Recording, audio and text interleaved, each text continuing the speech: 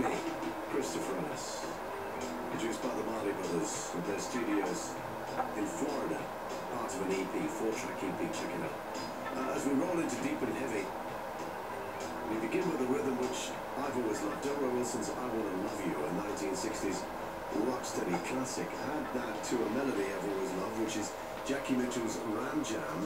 So much so that my schoolmates started calling me Ram Jam Rodigan because I was always playing the single Ram Jam Jackie Mittoo.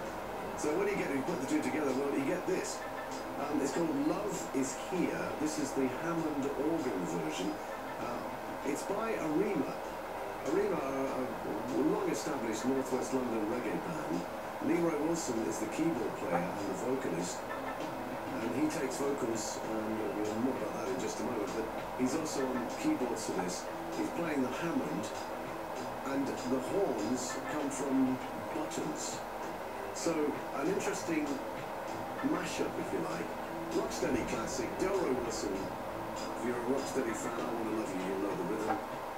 Snatches not all of Ram Jam, just bits of Ram Jam.